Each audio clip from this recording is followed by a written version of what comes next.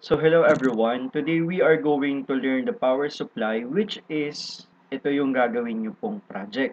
Yung theory po dito ay i-apply ninyo para makagawa kayo ng circuit ng isang power supply. Pero unang-una, ano po ba ang isang power supply? Sabi dito, it is an electronic circuit that converts an AC line voltage to a well-regulated lower DC voltage for electronic devices. So, meaning, yung 220 volts, 60 hertz na nalabas sa ating wall socket sa mga bahay ay kaya nating gawing isang DC voltage. Ano po ba yung best example dito? Ang best example po dito ay yung ginamit nyo sa laboratory. Meron po kasing dalawang type ng power supply. Una ay yung ginamit nyo sa laboratory which is variable or adjustable kasi pwede kayong kumuha ng iba't ibang values. Ang pangalawa pong type ng isang power supply ay yung tinatawag nating fixed power supply. Kung ang output niya ay 12 volts, 12 volts. Kung ang output niya ay 5 volts, 5 volts. At yun po yung gagawin yung project sa akin. Ang output ay 5 volts DC. So, saan ba natin ginagamit ang isang power supply?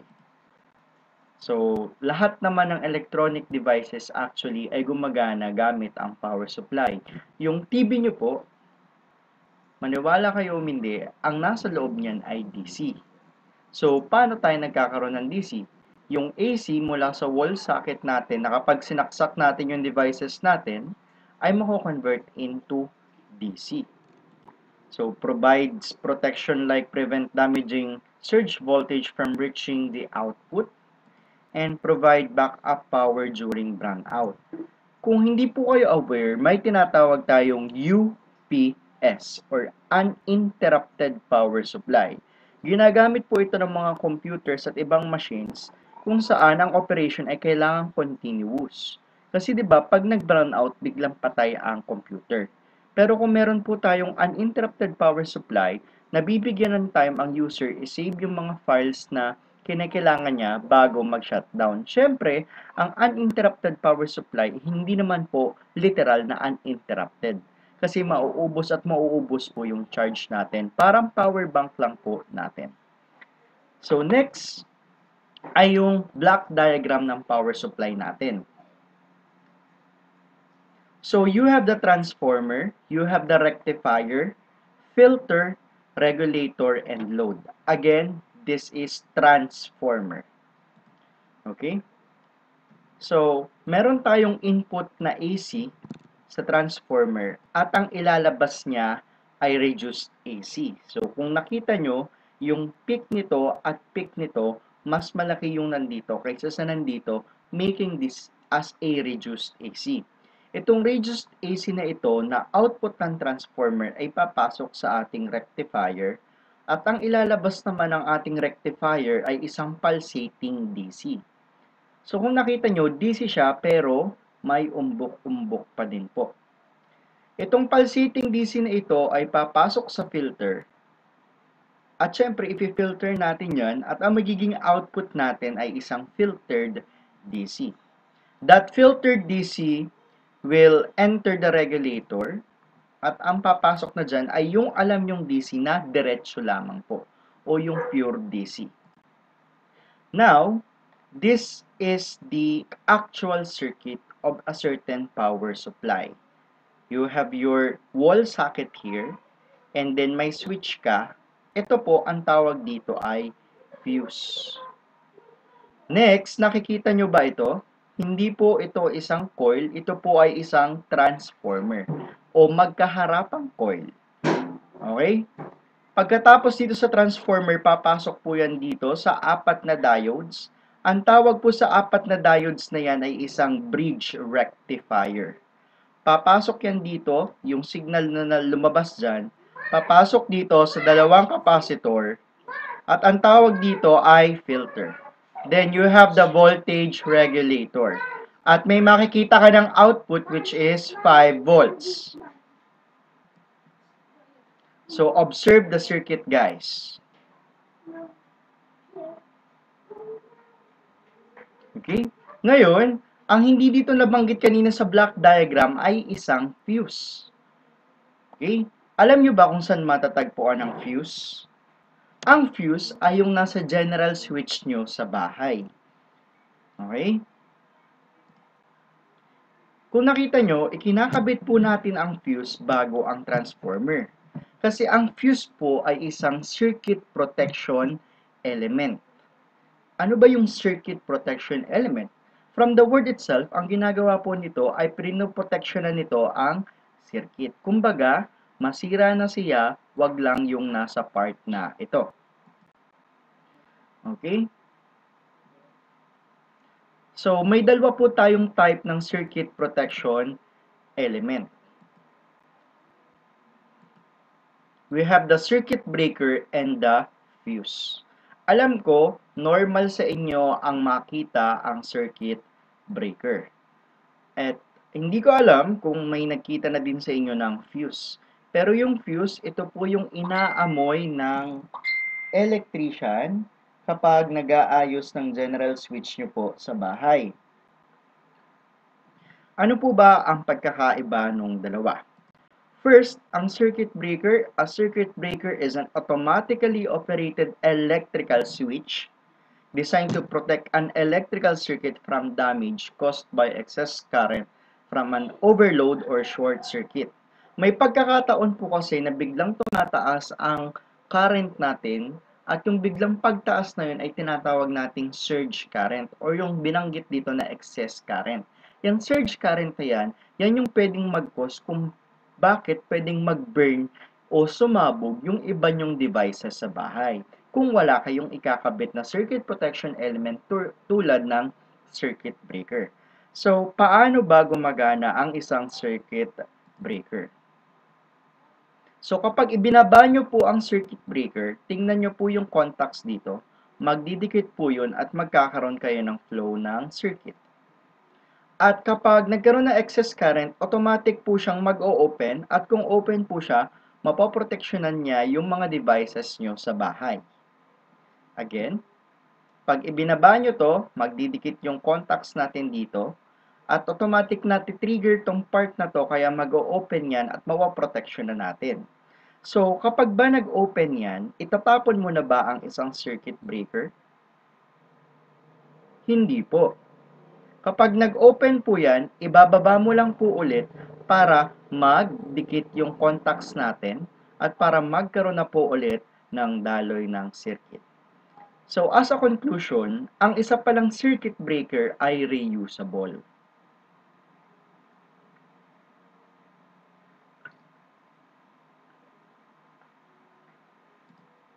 Yun po ang malaki niyang kaibahan sa fuse. So, yung ginagamit sa bahay, ito pong mga mukhang battery na yan. Okay? Kung may nakikita kayo, may nakasulat dyang 2 amps, 1 amp, 3 amps, 7 amps, 13 amps. Yan po yung tinatawag nating rating o kakayahan ng ating fuse na padaanin yung current. Okay? Pero ang gagamitin nyo po sa power supply nyo ay itong nakikita nyo lang. Isang easy blown type fuse. Okay? Kung nakikita nyo, doon sa gitna, meron tayong wire. So, ikakabit mo si input, ikakabit mo si output, at may connection sila kasi may wire. Ang tawag po sa wire na yan ay isang filament. At kapag gumawa kayo ng power supply, tatanungin kayo magkano, tatanungin kayo kung anong rating. Pag di kayo makasagot, sabihin nyo 1, 1 ampere kasi yun po yung madalas na gamitin na rating ng isang fuse. Dito po makikita yung rating natin. Naka-embark po dyan. So, paano po ba gumagana ang isang power, ang isang fuse? Sorry. So, kung nakikita nyo, kapag may dumaan na malaking current, yung filament po dun sa loob ay nasusunog at nag-o-open. Kung open na po ito, sa tingin nyo po ba yung input ko dito at output ko dito ay magiging konektado pa? Hindi na po. Kasi unang-una guys, ang purpose nito ng filament ay i-connect ang input at output mo. Paano niya napoproteksyonan ang circuit kapag nagkaroon ng excessive current tulad dito? mag-o-open siya automatically. At sa tingin nyo, pag nag-open ba siya automatically, may magagawa ka pa? I-reuse mo pa ba? ba itatapon mo na lang po. Kasi po, ang circuit breaker reusable nga, ang fuse ay hindi na po. Kaya kapag nag-aayos si electrician sa bahay nyo, inaamoy niya itong part na to. Kasi kapag amoy sunog yan, ibig sabihin, nag-burn na po yung filament natin. Okay? And, nung naggawa kami ng power supply, ayos na lahat yung gawa namin. Ang hindi lang pala ayos doon ay yung fuse. Na-discover namin bakit. Kasi nakita namin na yung wire namin, hindi pa namin nagagamit, ay putol na. So, open na siya. So, kapag gagamit po kayo ng fuse using an ohmmeter, you can test if it is open or not. Siyempre, kapag nilagay mo dito yung LEDs, yung probes mo dito, tsaka dito, kapag shorted yan, ang mababasa mo sa iyong ohmmeter na analog, papalo, papalo po yun papuntang zero. At kung siya naman ay kung yun ay shorted. At kung open naman, syempre, hindi papalo yung needle mo kasi nasa infinity ka. Di po ba ang resistance natin kapag infinity, ah, kapag open ay infinity at kapag shorted ay zero. So, summarizing, circuit breaker versus fuse, circuit breaker is reusable, remember that, while fuse is disposable or one use only. Kapag nasira si fuse, papalitan mo na. Kapag sa circuit breaker na trip or na open, ibababa mo lang ulit at pwede mo na pong gamitin.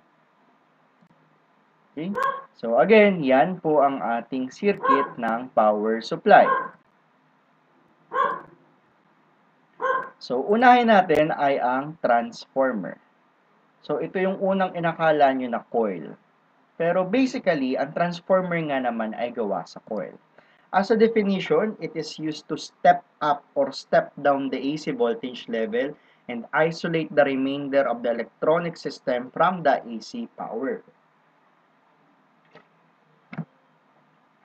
Remember, isolate. Ang ginagawa kasi ng transformer ay electrical isolation.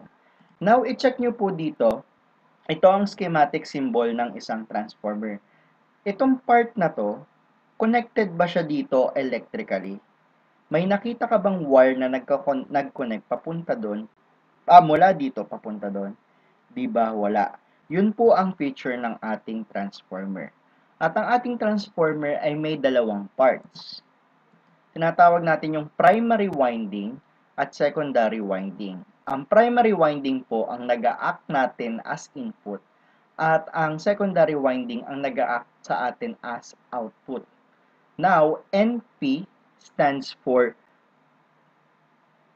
number of turns in the primary while NS stands for number of turns. Kita nyo ba, naikot, may turns or may winding. Yun po ang NP. Ito naman po ang NS. Okay, pag nagsukat ka dito ng voltage, ang mame-measure nyo po ay primary voltage. Dito naman po ay secondary voltage. So, you have your input here, you have your output here. At syempre po, kung meron kang voltage, meron ka din pong current. At kung may voltage, may current, meron kang resistance. Pero ang tawag dito sa atin sa electronics ay impedance. Okay? Tandaan nyo, ang transformer ang pinakamalaki, pinakamalaking component sa power supply. At the same time, ito yung pinakamabigat at pinakamahal palitan. Kasi ang mga diode, ang presyo niya lang naman po ay mga 3, mga 5 pesos. Pero ang transformer pwedeng umabot ng 150 to 250 pesos. Ngayon guys, iba kayo nagtaka, wala naman ditong wire na nag-connect. Pero bakit yung voltage dito ay napupunta dito? Okay? Yun ay dahil sa property ng inductor or ng coil. Yun po yung tinatawag nating mutual inductance. Ngayon, na, nakita nyo ba yung schematic symbol ng ng transformer? Magkaharapan na coil. Pag pinagharap mo po kasi si coil, may na, na, nagkakaroon ka ng tinatawag na mutual inductance.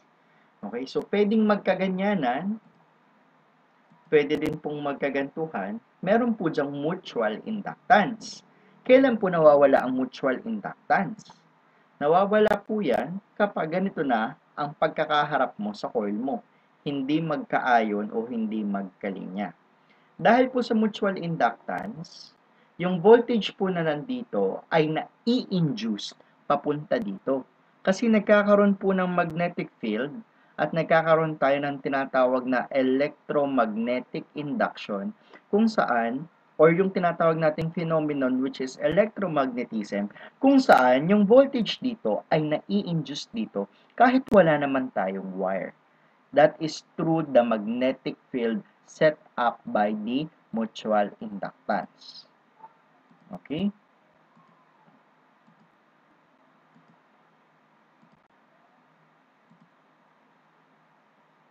So, review question. What couples the power, the primary power to secondary even it is not physically connected to each other?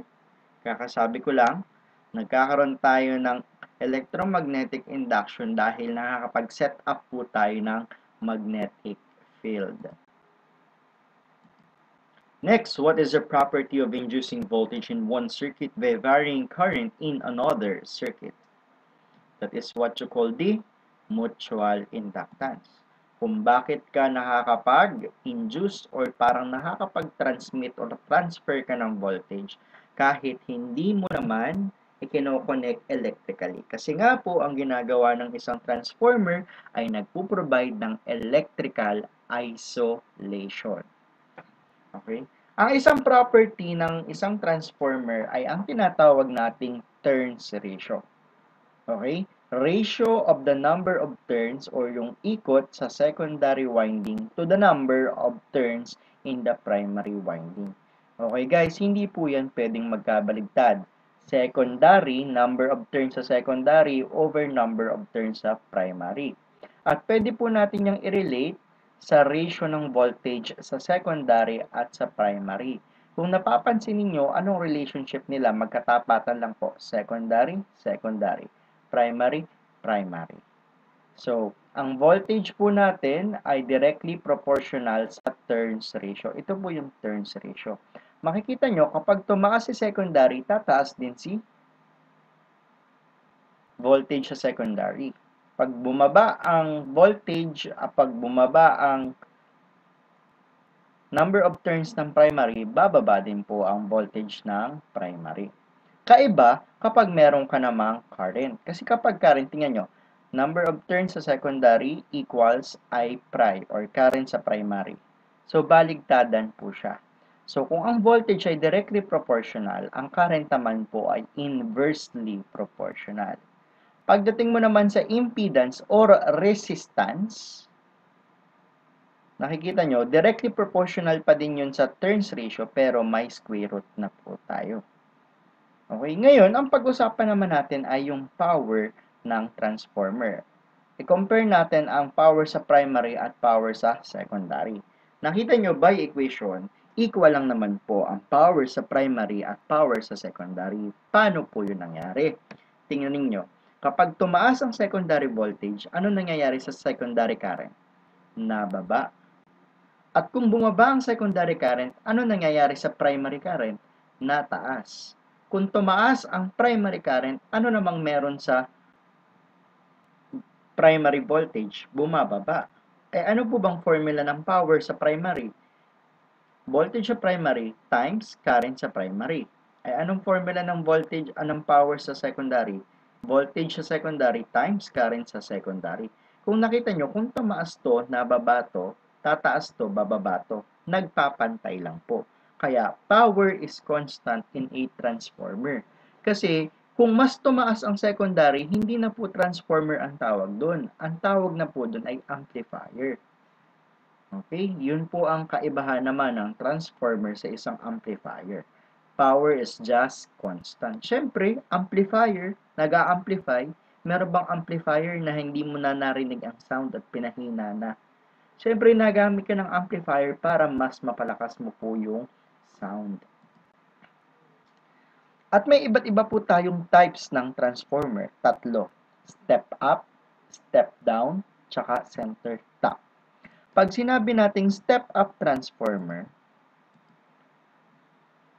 kung nakita nyo, 1 is to 3. Ang primary ay 1, ang secondary ay 3.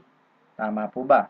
At kung kukuhain mo ang turns ratio, number of turns sa secondary over number of turns sa primary, that is 3 over 1, kitang-kita mo na turns ratio is greater than 1.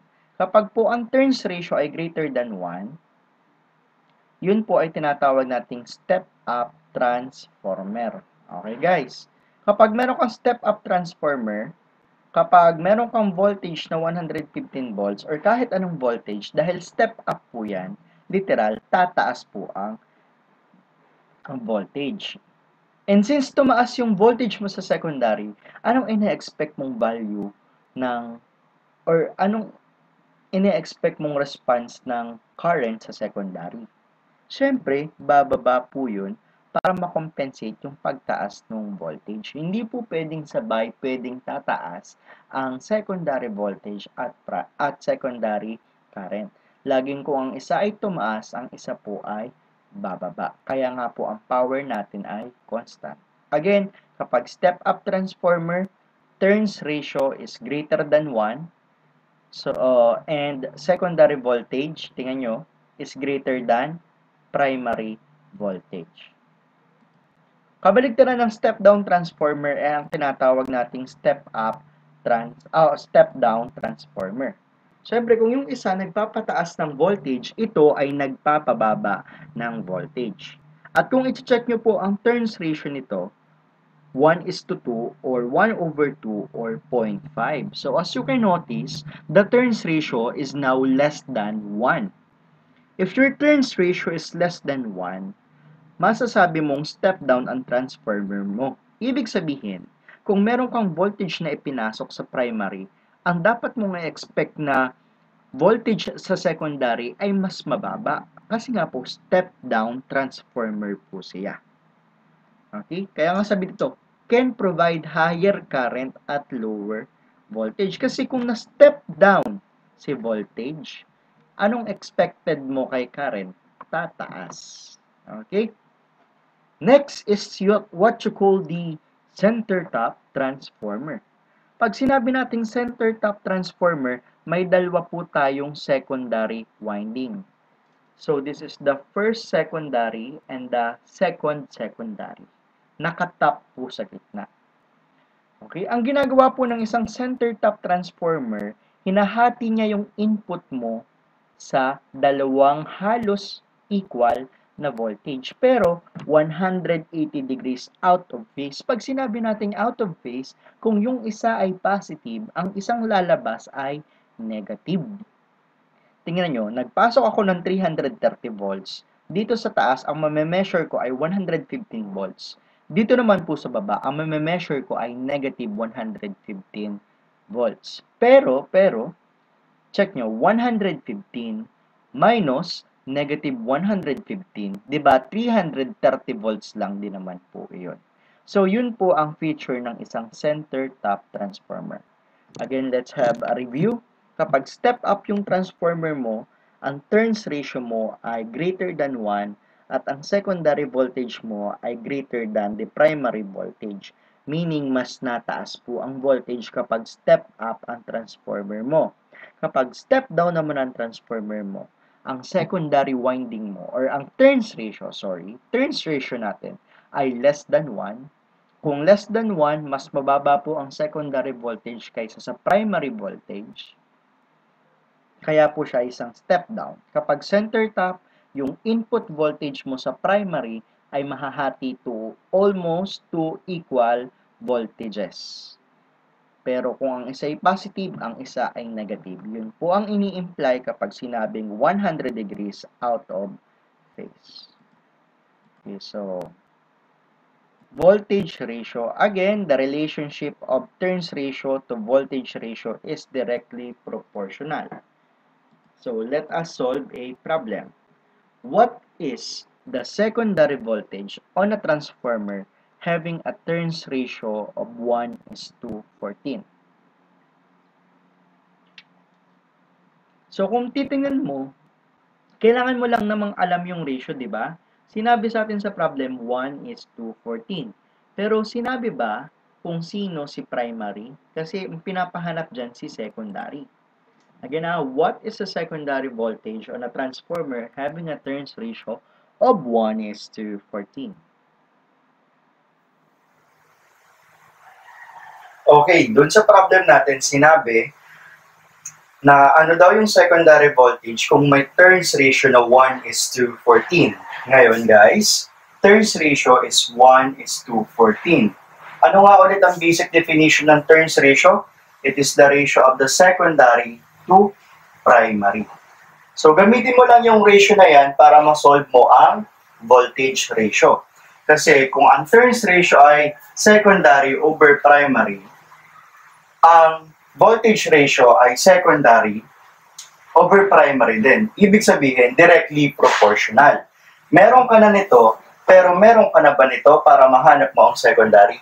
Wala pa po. Pero, matik, sabi ko sa inyo, kapag hindi sinabi ang voltage sa primary ay 220 volts, 60 hertz.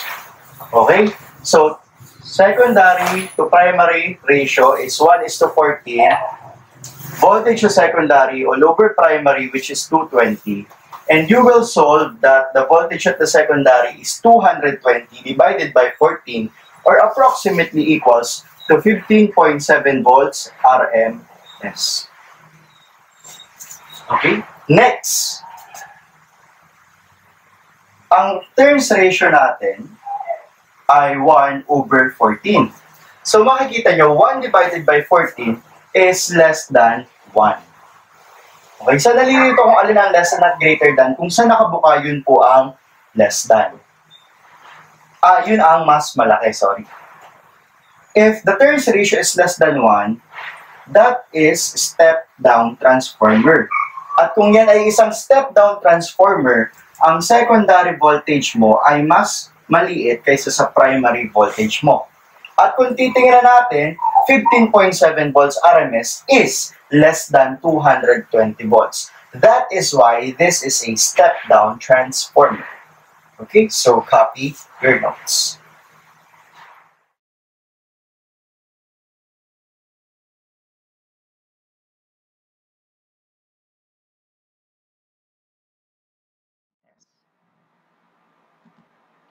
Next, with regards to current ratio.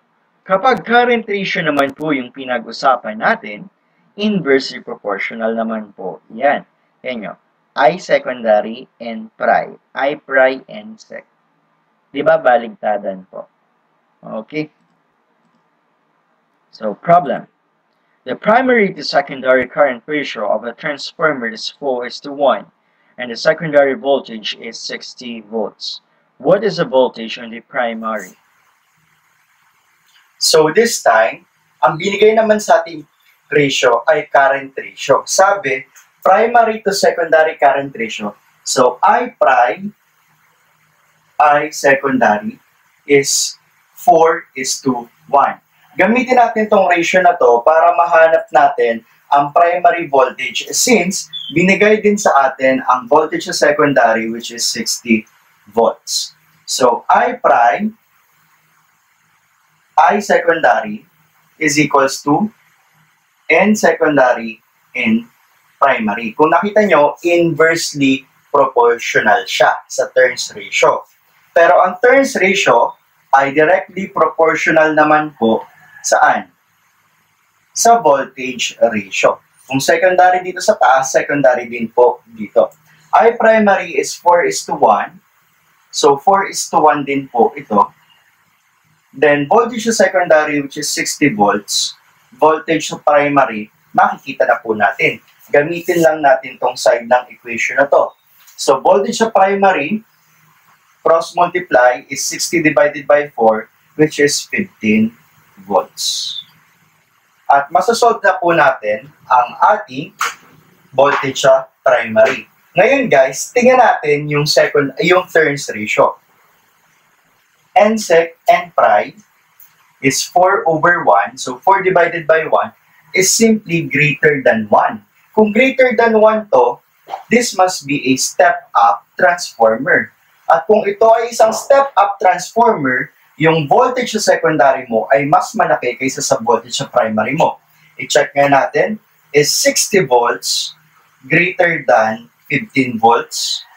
Yes po. So, malinaw lang na step-up transformer talaga ito. Okay, so yan naman kapag current ratio yung isosolve natin. So, copy your notes.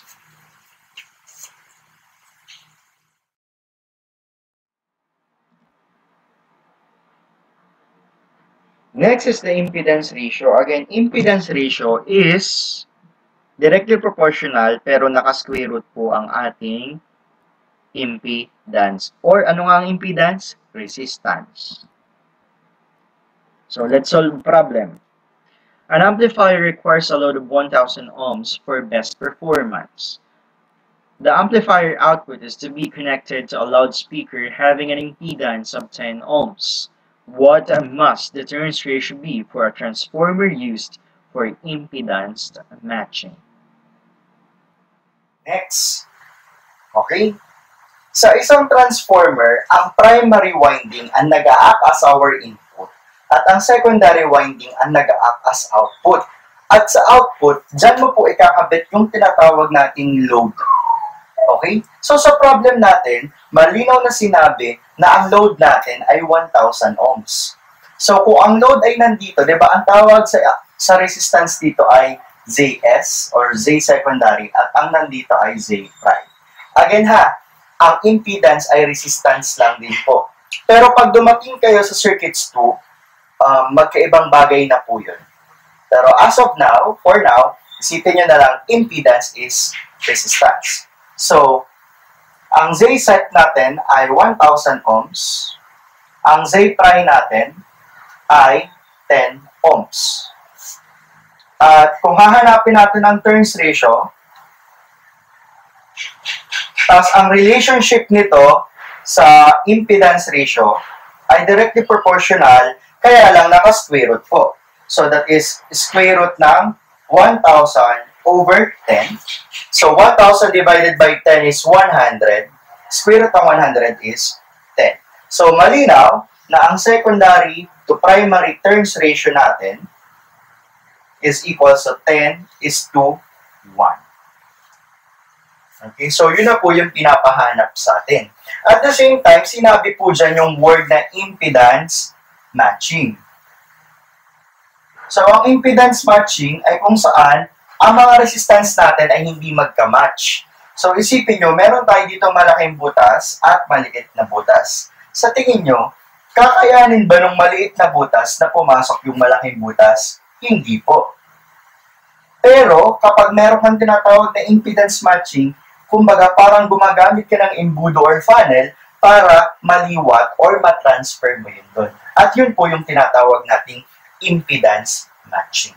Okay guys, so copy your notes.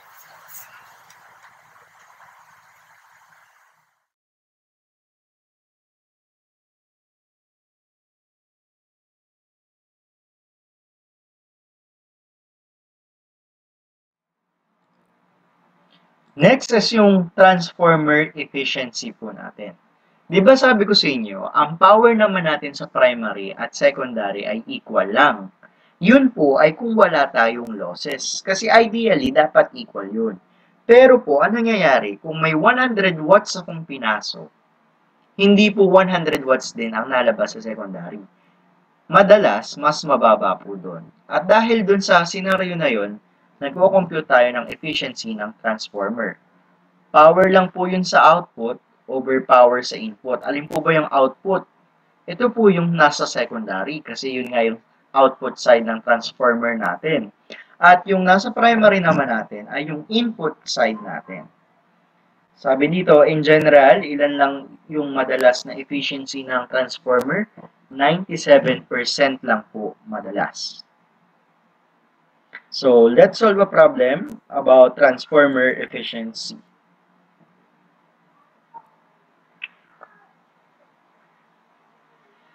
a transformer delivers 400 watts with 500 watts input. Calculate the efficiency in percent. So for this time, yung efficiency naman yung isolve natin. Efficiency is always output over input. Okay, sa transformer, ideally, ang efficiency dapat ay 100% dahil nga naaral natin kanina na ang power sa primary ay equals lang sa power sa secondary. Pero, that doesn't always happen sa lahat ng pagkakataon dahil sa mga losses, kung saan ang power sa secondary ay mas mababa sa primary. Tandaan nyo ha, pwede siyang maging equal sa primary at pwede maging mababa pero never pwedeng mas maging mataas. Kasi tayo ay transformer, hindi tayo amplifier. Sinabi sa atin, a transformer delivers 400 watts. So kung nagdi-deliver siya ng 400 watts, that is its output. Tsaka sinabi naman na ang input power mo ay 500 watts. Okay?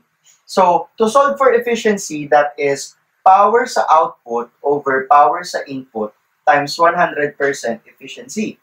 So, that is 400 over 500 times 100%, that is 80%. So, ang efficiency ng transformer na ginamit natin ay 80%. Actually, most of the transformer has efficiency of 97%, kung saan 3% lang ang losses. Medyo pangit pa tong transformer na ganito. Dapat mga 1997 yung efficiency ng transformer natin. So, again, that's the efficiency. So, copy your notes. So, malinaw na ba ang power supply? I hope malinaw na po yun sa inyo. Ngayon, balikan natin yung block diagram ng ating power supply. Ngayon, yung ating AC input ay napababa na po natin. At yung napababang voltage na yan, ay siya nating ipapasok sa rectifier. Ngayon, bakit ba natin kailangan pababain pa ang voltage at bakit hindi na lang natin idiretso sa rectifier? Total mahal naman po ang transformer. It is due to the fact kung ano po ang laman ng ating rectifier. Okay. Ang laman kasi ng rectifier natin ay diodes. At alam naman natin na ang diodes ay sensitive para sa matataas na voltage. Kaya pinabababa po natin. Okay, again, anong laman ng rectifier? Diodes. But basically, how do you define a rectifier? Sabi dito, it is a circuit that converts an alternating current AC to pulsating direct current DC. Tandaan nyo pa ha, hindi pa po diretsong DC yung nako-convert natin. Pulsating pa po o pumipitik-pitik o pumapaltik-paltik na DC pa po. So, i-compare natin ang AC, regulated DC, at isang pulsating DC. So, AC, kung natatandaan nyo yung topic ko na clumper, this is AC. This is regulated DC. Diretso na po yan. Pero sabi ko nga sa inyo, kung isusum nyo yan, may kunting pitik-pitik pa po yan. Hindi naman po ganun kadiretso yan. So, nakikita nyo, sasabihin nyo sa unang sabi agad, unang tingin, easy po ito. Pero i-check nyo, nasang part lang tayo? Nasa positive half cycle lang tayo. So basically, this is DC. Also, this one is DC, but that is not regulated or constant kasi paiba-iba ang value niyan. Instead, this is what you call the pulsating DC. So, pulsating DC by basic definition is a DC signal with an AC component. So, hindi pa po siya ganun kapuro, meron pa siyang halong konting AC. At may dalawa tayong major classifications ng rectifiers. So, you have the half-wave rectifier and you have the full-wave rectifier. Under full under full-wave rectifier, you could classify it as either bridge rectifier or center top rectifier. So, depende po sa magiging output kung siya ay half wave or full wave. At depende naman sa circuit mo na ginamit kung siya ay isang bridge full or center top na full wave. So, i-differentiate po natin lahat. So, first one, half-wave rectifier basically converts one half of its AC input to pulsating DC one half lang po. Kaya ang tawag sa kanya ay half-wave rectifier. And i-check natin yung voltage or sorry, yung current, uh, yung circuit natin. Okay, so tingnan nyo, at positive half cycle, kapag pumasok yan dito, di ba, meron ka ditong in output. At negative half cycle, wala kang output, tapyas. At positive half cycle, meron ka ulit output.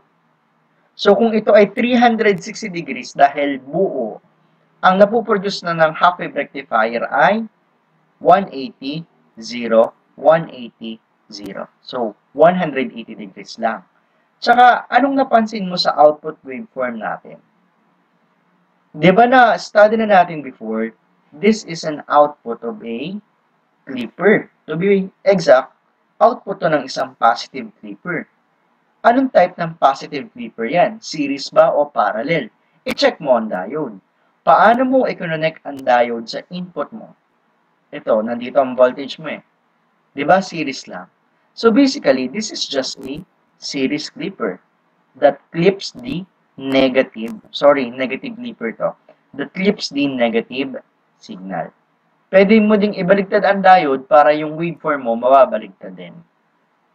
Okay? So, formulas. So, VDC or average value is just simply peak value over pi while your RMS value is peak value over square root ng 2, you have the peak output voltage. Ang peak output voltage po, babalik lang ako dito sa circuit, ay itong peak din ng voltage mo sa output mo. Ang peak output voltage mo po ay kung ano yung pinasok mo dito, which is basically yung secondary voltage mo, minus 0.7 since may diode ka. Pero kapag hindi naman sinabi sa yung yung diode mo ay silicon, or kapag ganun, sabihin natin, ideal po. Kaya, not necessarily lagyan mo dito ng 0.7. May tinatawag din pong ripple frequency. Ang ripple frequency po ay equals lang sa input frequency mo. Ano po ba ang input frequency mo? Sa Pilipinas, ang ginagamit natin ay 220 volts RMS ito na po yung 220 volts RMS. 60 Hz. So, ang input frequency mo ay 60 Hz. So, Mati, kahit hindi po ito sabihin, dapat alam mo na kasi nasa Pilipinas ka. Okay? Kapag walang binanggit na VP or VRMS, 220 volts RMS po ang ating supply, 60 Hz. Ano naman po yung PIV natin? PIV review, that is the peak inverse voltage or the peak reverse voltage. Yan dapat ay mas malaki, greater than or equal to output voltage mo. So, familiarize yourselves with these formulas.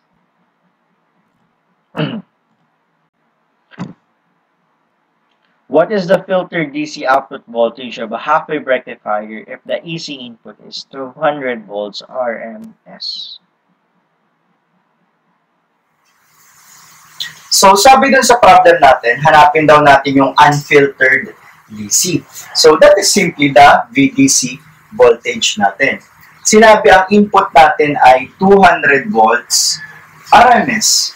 So, VRMS na po yan. Okay?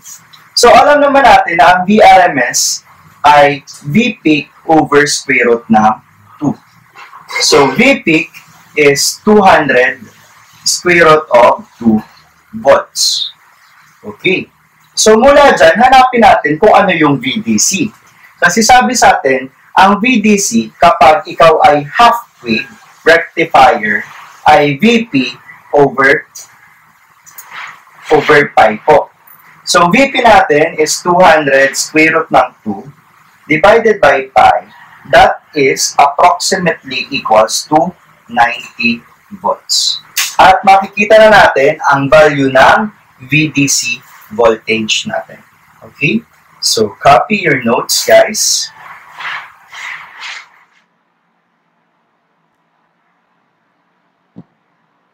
Next is the full wave bridge type circuit. Kung nakita nyo, mayroon tayong apat na diode at yung ganyang pagkaka-arrange ay ang tinatawag nating full wave bridge type circuit. Kung nakita nyo kanina sa out sa half wave rectifier, meron, wala, meron, wala. Ngayon, buo nating nakikita na. So, kung 360 degrees to, 360 degrees din yung na-output natin. Pag tinanong kayo, what is the most common type of rectifier circuit? The answer is full wave. What type of full wave? Bridge. So, this is the most common type of bridge of rectifier. And ito din po yung gagamitin ninyo. Okay po ha? Ito po yung bubuuin nyo na. So, paano ba gumagana isang full wave bridge rectifier? Ngayon, kapag pumasok ang positive half cycle, saan kaya dadaan yung diode? Ah, yung car, yung voltage, yung signal natin. Siyempre, dadaan yan kung saan forward bias. So, positive tayo, positive anode, positive cathode. Ano nga dapat connection natin? Fancy. So, dito siya dadaan kasi ito ang forward bias at malinaw reverse bias to. So, open na. Pagdaan niya dyan, aalamin niya ulit, that, dito ba siya dadaan sa diode na to o dito na lang? Dito po ang daan niya, since positive pa din po yan, cathode po ito, reverse bias, at mag-o-open na din po yan. Then, daan dito sa load natin,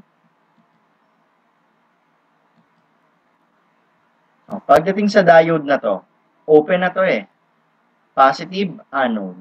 So, syempre, forward bias, kaya dyan yung daan ng ating signal. And then, dito, at meron ka nang makukuhang unang output mo. Ito po yung isang umbok dito. Yan. Ngayon, at negative half cycle naman, ano kaya po yung mangyayari? At negative half cycle, saan kaya dadaan si diode? Dito, uh, si signal, dito, or dito? Kanina, ito yung nag-reverse eh. So, negative anode, reverse bias. So, dito po yung daan niya. Yung mga hindi na daanan kanina, ay siyang dadaanan ngayon. So, X na to, saan ang punta ngayon ng ating negative half cycle? Yun na. Okay. Okay. At may makukuha kang output at ito po yung pangalawang umbok dito. And these are the formulas for full wave bridge circuit. Kung kanina sa half wave, wala po itong times dito, sa full wave may times 2 na po ito. Ganun pa din naman po ang VRMS natin. Pero sa peak output voltage, equals po naman yan sa input na peak minus 1.4. Bakit po 1.4? Kasi kung babalikan natin yung circuit natin kanina, apat yung ginamit nating diode, pero kada half cycle, ang nagana lang po ay dalawa. So kung silicon yun, 2 minus 0.7, kaya dito meron kang minus 1.4. Sa half-wave rectifier kasi, iisa po yung diode na gumagana. Dito, apat ang gamit natin at dalawa at a time ang nagana. Ang isa pang kaibahan natin ay ang ripple frequency. Dahil ang ripple frequency ay twice na ng input mo. So, Matic, pag tinanong ka, what is the ripple frequency of a certain rectifier? Una mo dapat isipin, ano ba yung default na rectifier? Full wave. Full wave na ano? Bridge. So, ano yung input ko, Matic? Kahit hindi sabihin, 220 volt, 60 Hz. So, 60 times 2, 120 Hz. At yun po ang Matic nating ripple frequency. Next is yung center tap transformer. Kung yung bridge rectifier, pinangalanan ng bridge dahil sa arrangement ng diodes, ito namang full wave na to, pinangalan ng center tap dahil nagamit ito ng isang center tap transformer.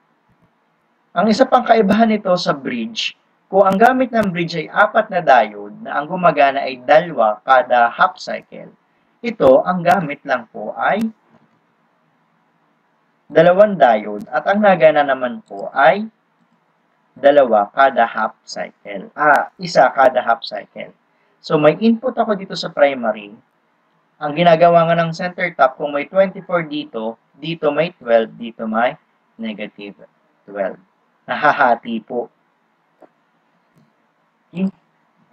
Kaya, pag tiningnan mo yung output mo, one half lang po ng pinasok mo. Hindi po tulad dito sa ating full wave na bridge, hindi po nahahati yung input voltage. It is due to the fact na ang ginamit natin ay isang normal na step-down transformer. Kasi nga dito, center tap po ang ginagamit natin. Hinahati natin sa 2 yung input natin. Okay, observe. Still, the ripple frequency, the same pa din naman po. Yung PIV natin, times 2 na. Okay? Now, let us differentiate the three rectifiers. You have the half wave versus full wave bridge versus full wave center tap. A half wave uses one diode and it only works for isang half cycle. Kung mag-work siya sa positive half cycle, dun lang siya. Kung mag-work siya sa negative half cycle, dun lang siya. While, uh, tsaka nagpo-produce siya ng 180 degrees ng input signal mo. Kapag full wave bridge, gumagamit ka po ng apat na diode at ang nagana lang po ay dalawa kada half cycle. Ang malaking improvement nito, gumagana siya or buhay siya for the full 360 degrees ng signal mo. Same thing with center tap, 360 degrees din yan. Kaya lang, dadalawa naman yung diode na ginagamit niyan at isang diode lang yung gumagana kada half cycle. So, tapos na po tayo sa transformer at rectifier. Now, paulit-ulit, i-review lang po natin yung block diagram ng ating power supply. Nagpasok ako ng 220 volts. Bababa po yun kasi gagamit ako ng step-down transformer at ipapasok ko sa isang rectifier. Ang gagawin ng isang rectifier, i-rectify niya kaya makakapag-produce tayo ng pulsating DC. Hindi pa yan yung DC gusto natin, pumipitik-pitik at pumapaltik pa yan, kaya ipapasok natin sa filter para masala natin ng konti. Observe mo yung output ng filter di, yung fil ng filter natin. Yung umbok-umbok na yan, medyo natutuwid na natin ng konti. Okay? So, ano po ba ang ginagawa ng isang filter? Of course, nag-filter po. Nag-smoothen ng ripples. It is designated to convert pulsating DC from rectifier circuits into a suitably smooth DC level. Okay? Kung naalala nyo yung drawing ko kanina, yung constant DC na alam mong diretsyo, kapag zoom natin, may konti naman talagang umbok-umbok pa, di ba? Yun yung tinatawag nating ripples. Ang rectifier po kasi, ang output niya, malaki pa po yung ripples. Pag pinasok mo sa filter, napapaliit mo na yung ripples. So basically, sa power supply, ano yung gusto mo? Maliit o malaking ripples? Mas gusto natin yung maliit na ripples. Kasi ayaw natin na yung power supply natin, sobrang laki ng pagbabari ng voltage. Gusto natin smooth 5 volts DC lang po yun. At may iba't iba tayong type ng power supply. Filters. So, filter sa power supply. May tinatawag tayong C filter at may tinatawag tayong RC filter. So, C filter kasi ang gamit mo lang ay capacitor. Ito po yung gagamitin mo. So, paano po ba yan gumagana? So, ito yung aking input signal. Gumamit ako ng capacitor. Ano bang ginagawa ng isang capacitor? Charge and discharge lang po. Kung makikita nyo, habang tumataas yung voltage natin, yung orange na to, yan ay yung input voltage ko galing rectifier. Habang nag increase yan, nagcha-charge ang capacitor ko at hindi pa man at hindi pa natatapos ang ating rect ang galing sa aking rectifier, nagdi-discharge na ang capacitor ko. At paulit-ulit na. Kaya ang na lang sa isang filter, itong kulay red na signal natin. So kung nakikita nyo, medyo natutuwid na natin siya. So that's your VM, that's your VDC. That's the ripple voltage peak value. Again, peak value of the ripple voltage. Kasi kung may peak value tayo ng ripple voltage, may tinatawag tayong RMS value. Ripple, ito po yung konting kulot-kulot pa na gusto pa nating matanggal. Again, pag tinanong kayo, anong gusto mong value ng ripple voltage? Maliit, malaki? Gusto mo maliit lang kasi gusto mo smooth. At ito po ang formulas para sa ripple voltage. Ripple voltage po V sub R. V sub R, RMS, it means RMS value of the ripple voltage is equals to IDC all over 2 square root of 3 FR times C. Tandaan nyo, FR, that is your ripple frequency. Kapag wala pong sinabing rectifier, ano ang assumption natin? That is full wave and that the ripple frequency is twice the input. Anong input natin? 60. So what is the ripple as a default? 120 Hertz. While VDC or V average is V peak or V maximum. Pag sinabi sa inyo peak value, maximum value lang yun or VM minus peak value ng ripple. So kapag na-compute mo si RMS, ita-times mo pa yan ng square root of 3 para makuha mo yung VR peak or peak value ng ripple voltage. Isa pa pong formula ng VRRMS or ripple or RMS value of the ripple voltage is square root of RMS voltage squared minus DC voltage squared. Saan mo kukuhaan yung VRMS at VDC?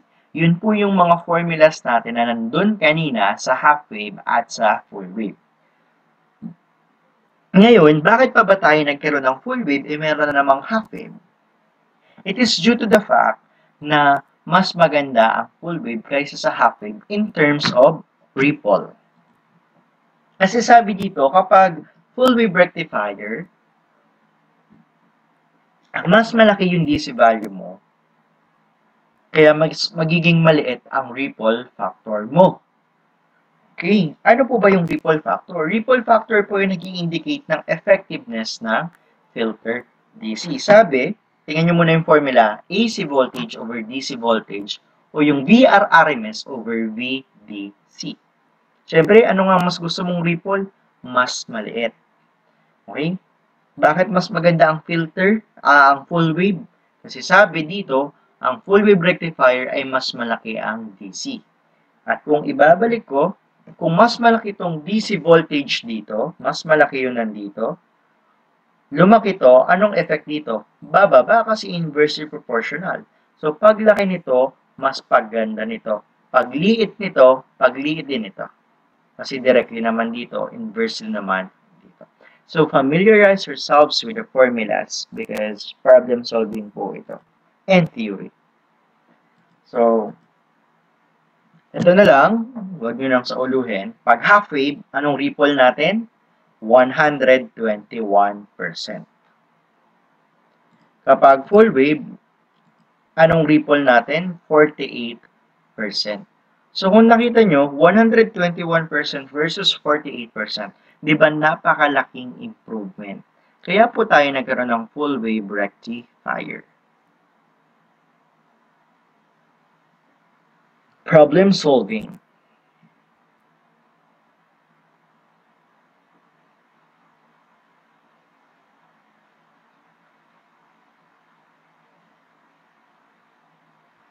A full wave rectifier signal of 18 V peak is connected to a 400 microfarad filter capacitor. What are the ripple voltage and the DC voltage across the capacitor at a load of 100 milliamperes? Calculate also the ripple factor. So, binigay po doon sa problem natin na ang rectified signal ay 18 volts V peak. So, yun yung maximum natin. At the same time, binigay ang value ng capacitor, which is 400 microfarad. Binigay din ang value ng current natin, which is 100 milliamperes. Ang pinapahanap po sa atin ay voltage across the capacitor, so that is VR RMS, ripple voltage na RMS. Pinapahanap din sa atin ang um, VDC tsaka ang ripple factor. So this is, sorry, this is the voltage across the capacitor. This is the RMS voltage. So VR RMS is equals to IDC. Formula based lang po. 2 square root of 3 times FR times C. Ngayon, meron kang IDC, meron kang capacitor. Ang wala mo lang ay ripple frequency. Okay? Sinabi, unang-una sa problem, full wave. Kapag full wave, ang ripple frequency is twice ng input frequency. Pero may sinabi ba tayong input volt, uh, input frequency? Wala po. Pero matik nga, kapag nasa Pilipinas ka, 220 volts, 60 Hz. So, ripple frequency is twice ng 60 Hz o simply 120 Hz. So, substitute lang natin, IDC is 100 milliamperes. Huwag niyong kalimutan, milliamperes po ha. 2 square root ng 3 times 120 times 400 microfarad. Okay? At kapag sinold natin yan, approximately 0.6 volts RMS po yan. Tandaan nyo, RMS yung sinold natin. Okay? Next is the VDC. VDC is equals to VM, yun, minus ripple voltage, pero peak value. Okay guys, peak value po ha, we have this formula na ang VR RMS ay equal sa VR na peak over square root ng 3. So, cross-multiply mo lang, makukuha mo na ang VR peak ay VR RMS na square root ng 3. And by using that relationship, masosolve na natin kung ano ang VDC. Kasi VDC is VM, which is 18, minus VR RMS na square root ng 3. So, 0.6 times square root ng 3. And approximately, that is equal to 16.96 volts DC. Ngayon guys, huwag na huwag kayong magpuputol sa pagkukompute ha. Store-store lang po. Next is the ripple factor. Ripple factor is equals to VR RMS over VDC. VR RMS is 0.6 while VDC is 16.96 volts. At masosolve natin times 100%, that is 3.53%. So again, formula-based lang po ito. Kung hindi mo alam yung formula, medyo mahihirapan ka po talaga. So, i-utilize mo lang yung formulas na alam mo para ma-solve mo yung mga unknowns natin sa problems natin. Ang pinakamagandang gawin muna, parang pag-solve lang natin all, list down mo lahat ng given, list down mo yung unknown, and alamin mo lahat ng formulas na related sa unknowns. At yun yung gagamitin mo para ma-solve mo lahat. So again, guys, this is the example problem. Copy your notes.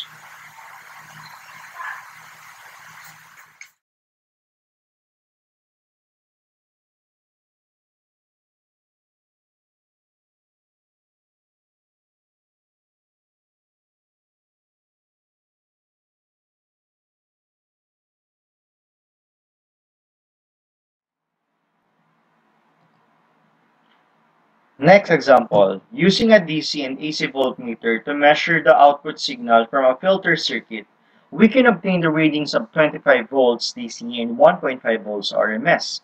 Calculate the ripple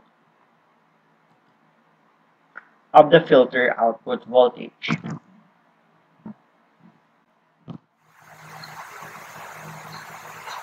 So, doon sa problem natin, directly sinabi na na ang na gumamit tayo ng voltmeter at ang na-measure natin na DC voltage ay 25 volts at ang AC voltage ay 1.5 volts. Remember that the ripple factor is AC voltage over DC voltage o yung VRRMS over VDC. So that is 1.5 divided by 25 times 100%, that is equals to 6% ripple. So, ang ripple factor natin ay 6% lamang po. Okay? So, copy your notes. Next type of filter is the RC filter. So, RC filter, dahil kung ang C filter ang gamit ay capacitor, ang RC filter ang gamit is resistor and capacitor. So, yun na lang yung alamin niya.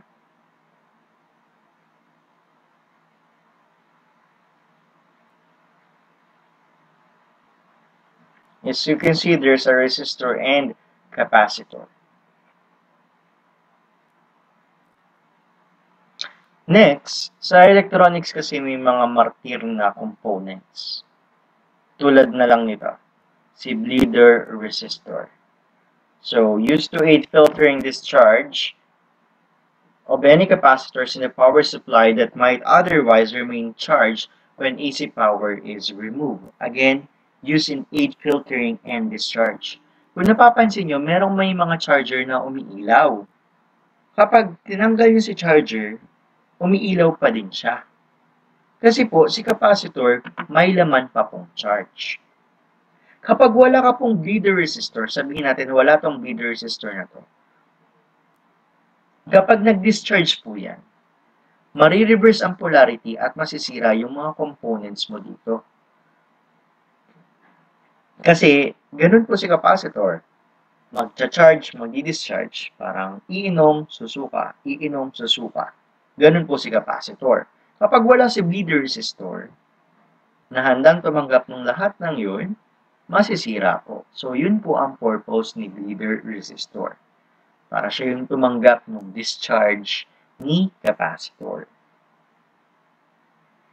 So, tapos na tayo ng filter. So, let's move forward.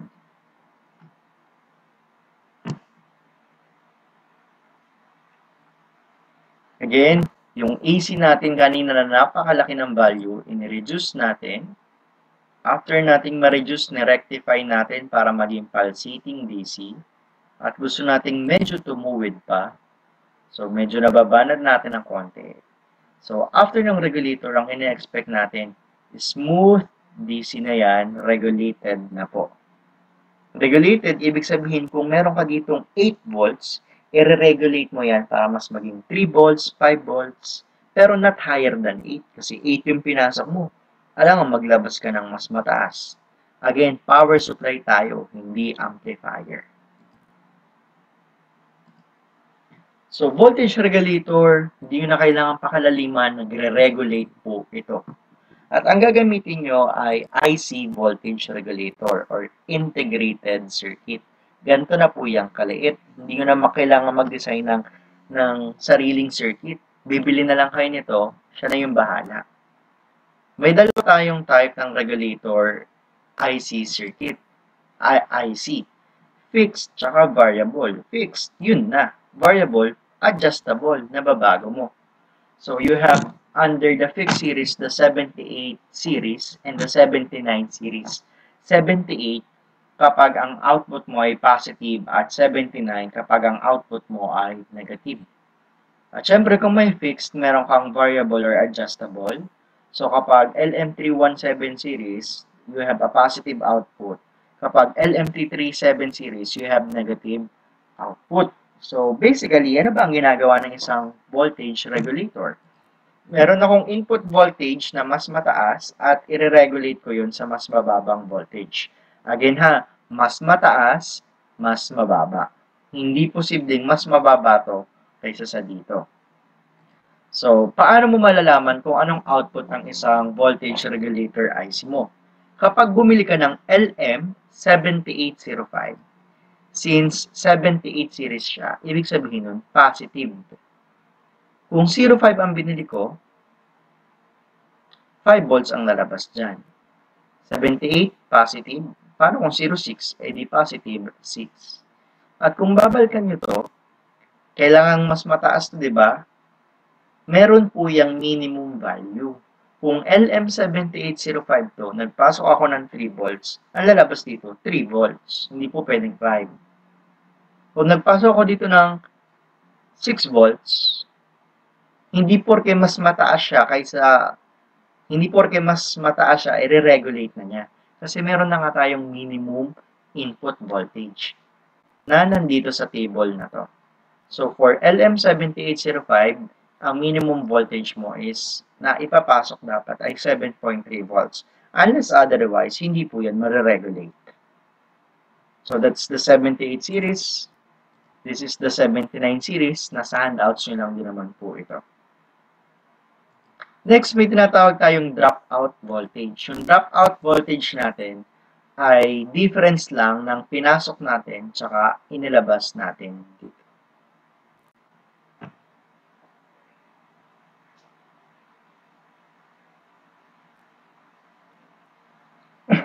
Next, yung tinatawag nating adjustable voltage regulators, again, kapag LM317, positive adjustable yan. Kapag 337, negative adjustable po yan. So, adjustable, ibig sabihin, pwede mong mapagub, pwede mong bagu-baguhin yung output voltage mo. Tulad ng ginamit nyo sa laboratory natin, yun po yun. So, formula po natin, para makuha natin yung output voltage, reference or V reference voltage or reference voltage quantity 1 plus R2 over R1 plus adjustable current times R2. Si R2 po ay itong nasa baba. At anong schematic symbol yan? Schematic symbol po yan ng isang varistor or variable resistor.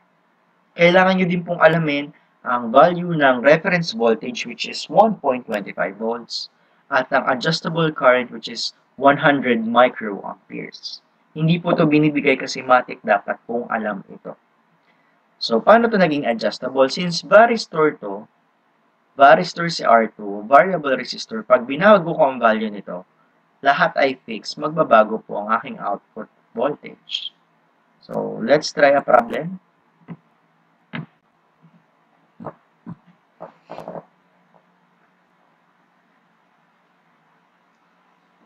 Determine the regulated voltage of a typical LM317 IC adjustable voltage regulator circuit with R1 240 ohms and R2 2.4 kilo ohms.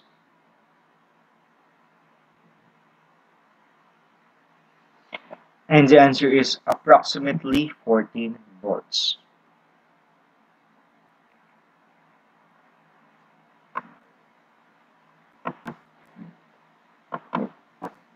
Now, let's move on to voltage regulation. We have two types of load regulation, of voltage regulation. You have the load and the line. Pag sinabi natin load regulation, amount of the DC voltage changes between the no load and loaded conditions. Pag sinabi natin no load, um, di ba yung power supply, bago ako magpasok or bago ko ikabit siya sa breadboard, ang ginagawa ko muna, ipinapasok ko muna yung probes ng voltmeter ko sa output ng aking volt ng aking power supply para i-measure ko muna yung gusto kong output. So, kung nakita nyo, wala naman tayong nakakabit na kahit ano except sa voltmeter. Yun yung tinatawag nating no load. And then, kapag nakuha ko na yung gusto ko, say for example, 5 volts, ikakabit ko na yun papunta sa aking breadboard. Yung breadboard ko, yung circuit ko doon, yun yung load ko. Kaya lang, nakita nyo din sa experiment natin, sa lab natin, na kapag nag-measure ulit ako, using voltmeter, yung kaninang wala akong nakasalagay, 5 volts, medyo nababawasan na ng konti. Tama po ba? Kasi yun yung karakteristik ng isang power supply. Kasi walang perfect na power supply. So, kaya may tinatawag tayong load regulation. Ang load regulation ay voltage sa no load. Ibig sabihin, wala ka nakakabit, minus full load all over full load. So, mnemonics na full-full na full-full. Ulitin ko ha, na full-full. No load, full load, all over full load. At anong gusto mo ng load regulation? Mas gusto mo na 0%. O bakit? Kasi gusto mo no load tsaka full load parehas lang. Kasi ayaw mo ng may malaking change. Okay? So that's the ideal value, 0%. While pag sinabi nating line regulation, ito yung pagbabago-bago or change in output over change in input. Kasi, alin ba yung input voltage natin? Ang input voltage po natin is yung 220 volts natin mula sa wall socket natin. And that is not a constant 220 volts. Kaya nga, ang sabi dun, di ba, effective value or root mean square. Kasi yung effective na napapakinabangan natin. At kung nagpapag, nagpapabago-bago yun, dapat yung output mo hindi magpabago-bago, dapat constant lang yun. Kung ang gusto mo constant, ang change mo doon zero. So, ano magandang value ng line regulation? Again, 0% po. So, review lang. Sa power supply block diagram, you have the transformer, the rectifier, the filter, and regulator. Yung voltage natin, paulit-ulit, na malaki, paliliitin natin. Papasok ng rectifier para ma-rectify at para maging pulsating DC. Baba natin ng konti using filter.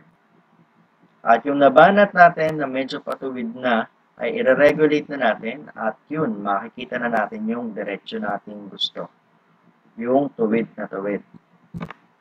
Okay, at again, yan yung circuit natin ng yan ng power supply. Yan po yung gagawin nyo ha. So, thank you for listening. I hope nag-take down kayo ng notes at gamitin nyo yung advantage na may video para mas makapag-review pa. Keep on learning guys. God bless. Goodbye. Your notes. So, binigay dun sa problem sa atin, R1 is 240 ohms and R2 is 2.4 kilo ohms. Pinapahanap sa atin ang output voltage ng isang LM317 voltage regulator. Kung ito ay isang LM317, ito ay adjustable or variable. Ibig sabihin, pwede mong mabago-bago yung values. So, to get the output voltage, and positive pala siya, madagdag ko lang. That is V reference times 1 plus R2 over R1 plus adjustable current times R2. Okay? So, reference voltage, kapag hindi binigay, 1.25 volts po yan. 1 plus 2.4 kilo ohms over 240 ohms plus IADJ, kapag wala pong binigay, 100 microamperes po yan. And that the value of R2 is 2.4 kilo ohms. At kapag sinold mo yan, your output voltage is approximately equals to 14 volts. So, ganyan po mag-solve ng LM317. Paano naman po pag LM337? Ganyan pa din po, kaya lang ine-negative mo yung output voltage mo. Kasi ganun po ang LM337. So, copy your notes and aralin nyo yung formula. Okay?